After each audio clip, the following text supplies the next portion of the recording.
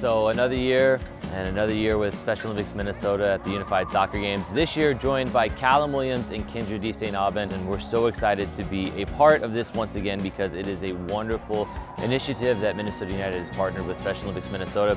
So the Unified Movement combines athletes with and without disabilities on the same team and we hope through that uh, we're going to break down barriers between these two groups and foster true friendship and inclusion. And so Minnesota United has been a huge part of that, uh, not only being out at events but also supporting that in the community as well. Uh, we also have a Minnesota United Unified team uh, as part of the partnership where Minnesota United hosts athletes with and without disabilities uh, as honorary members of Minnesota United. Well, this year it is going to be Wayzata. They are going to be our team that we're going to partner with, and we are so excited to partner with them. I'm excited to see where it's going to go. So excited to get to know them, get to know the players, the coaches, and everyone a part of the organization, have a few practices and, and a lot of smiles along the way.